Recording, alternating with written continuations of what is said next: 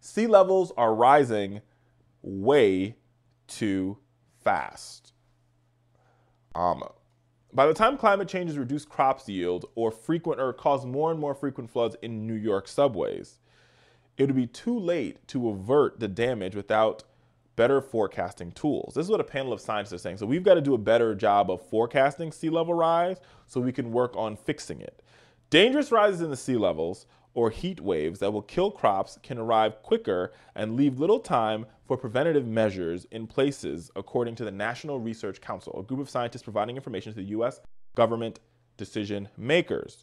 Now, uh, the report talks about, you know, a calls for an early warning system on monitoring climate conditions and creating better senses of warming. Now, I'm going to tell you, I really think we need to figure out a way to solve climate change, a, long term solution.